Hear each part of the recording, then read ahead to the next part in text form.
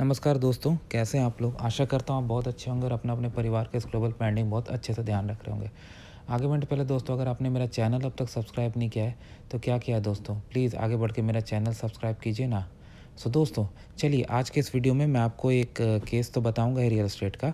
साथ में कुछ इंपॉर्टेंट टॉपिक्स जैसे स्लाइडिंग स्केल भी करेंगे डिस्कस करेंगे जिस पे even twenty percent pre down payment के बाद भी आपको ट्रबल आ सकती है। बस इतना क्लैरिफाई करते हैं दोस्तों मैं कोई रियल स्टेट प्रोफेशनल नहीं हूँ तो अगर आप इस वीडियो से कुछ भी लेंगे तो आप अपने खुद के रिस्क पर लेंगे। आइए। सो so, दोस्तों यहाँ पे किसी ने प्राइवेटली एक पोस्ट किया फेसबुक ग्रुप में जो कि काफ़ी इंटरेस्टिंग है। मैं आपको शॉर्ट में बताता उसने एक प्री कंस्ट्रक्शन प्रॉपर्टी किचनर जो कि जीटीए के बाहर एक सिटी ऑन्टेरियो में 1.3 मिलियन पे बुक किया। और उसको डाउन पेमेंट प्रोवाइड करना है ट्वेंटी परसेंट तो ट्वेंटी परसेंट कितना हुआ? Two hundred sixty three sixty thousand तो प्री कंस्ट्रक्शन में क्या होता है कि पेमेंट के शेड्यूल होते हैं, उतना कंप्लीट होने पर आप उतने उतने पैसे देते जाते हो। तो उसने अब तक वन ट्वेंटी थाउज़ेंड पे भी कर चुके हैं बिल्डर को। और उसको मॉर्गेज का ये अप्रूवल शायद मिला था सी आई बी सी से, जैसा उसने लिखा है। लेकिन अभी उसको एक वहाँ पर एक ट्रबल हुई है।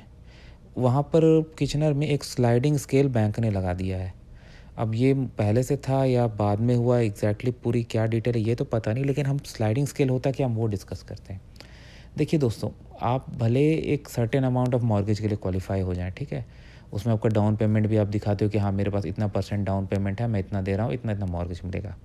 लेकिन जैसे जैसे प्रॉपर्टी की वैल्यू मतलब जो आप ख़रीदने वाले, उसकी ज़्यादा होती है प्राइस ज़्यादा होता है तो लेंडर्स को खुद को प्रोटेक्ट करना होता है करेक्ट तो लेंडर्स खुद को प्रोटेक्ट कैसे करते हैं? एक होता है कि आप अगर ट्वेंटी परसेंट से कम लेते हो तो C M H C insurance होता है वो प्रोटेक्ट प्रोटेक्ट कर देता है। तो यहाँ पर कोई ट्वेंटी परसेंट दे रहा है तो वो लगाया नहीं जाएगा।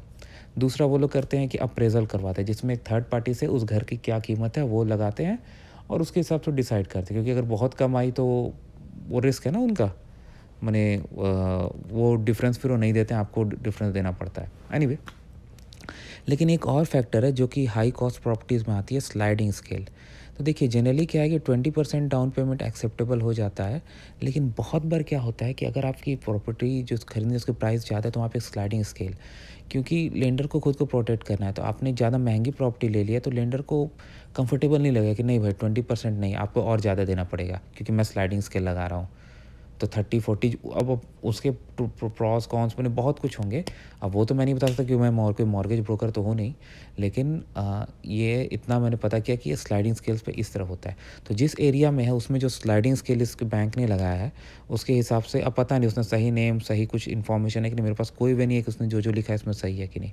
तो मैं इस बात की कोई गारंटी नहीं ले रहा हूँ। तो उसके हिसाब से उसको eight hundred fifty four thousand का मॉर्गेज मिलेगा। अब आप जोड़ लीजिए eight fifty four plus two sixty वो अभी भी अराउंड टू हंड्रेड थाउज़ेंड का शॉर्टेज है। अब वो बेचारा फंस गया है। अब वो अपने ऑप्शन देख रहा है बी लेंडर के पास या दूसरा बैंक ट्राई करेगा। अब ये तो पता नहीं वो क्या करेगा। लोग भी सजेशन दे रहे हैं उसको। लेकिन इससे कुछ चीज़ें हैं दोस्तों जो आपको ध्यान में देनी चाहिए कि अगर आप मॉर्गेज लेने जा रहे हैं तो आप प्री अप्रूवल या जो भी ले रहे हैं प्री अप्रूवल लेना ठीक है और लेना भी चाहिए। मैं भी हमेशा रिकमेंड करता हूँ।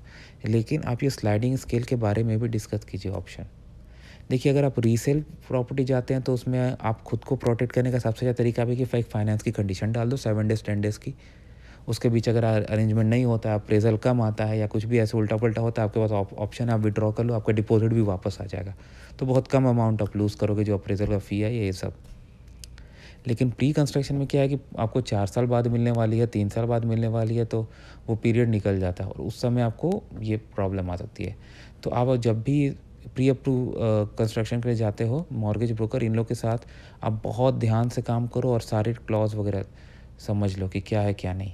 उसके बाद रिस्क वगैरह की एनालिसिस करो। आप चाहो तो एक्सपर्ट की हेल्प भी ले सकते हो और तब डिसाइड करो कि क्या करना है, ताकि इस तरह के रिस्क आप up to a great extent avoid कर सकें। वीडियो देखने का धन्यवाद दोस्तों। चैनल को प्लीज़ सब्सक्राइब कर दीजिए।